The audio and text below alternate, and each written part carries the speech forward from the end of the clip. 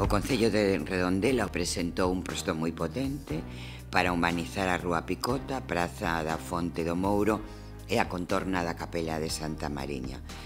Ten un orzamento moi importante este proxecto, eh, supera os 849.000 euros, a Deputación vai aportar 636.940 e o Concello de Redondela máis de 212.000.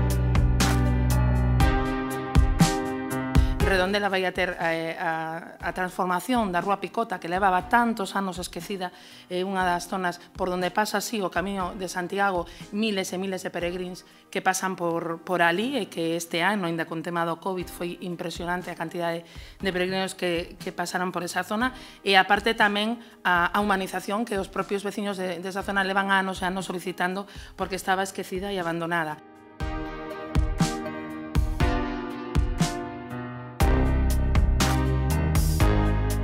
Curva da Picota forma parte do Camiño Portugués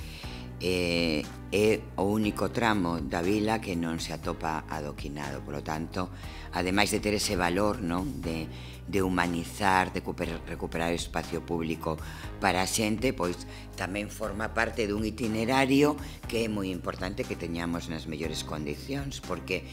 por aí circulan moitísimas persoas que nos veñen a visitar. Música